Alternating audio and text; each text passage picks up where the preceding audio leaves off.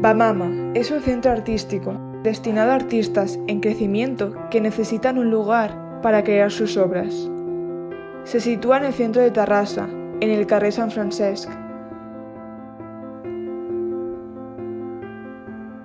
Es un edificio deteriorado y sin uso, con poca luz en planta baja.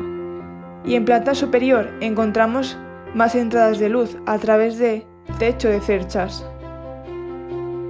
En la rehabilitación del edificio ocuparé todo el espacio, donde incluiré talleres y una zona de exposición, para que los artistas tengan un lugar donde darse a conocer.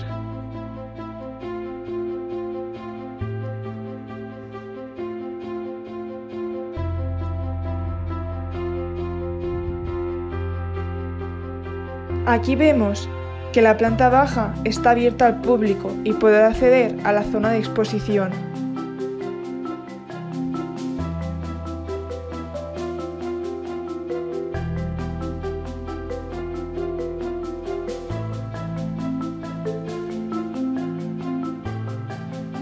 El núcleo central que conecta las dos plantas.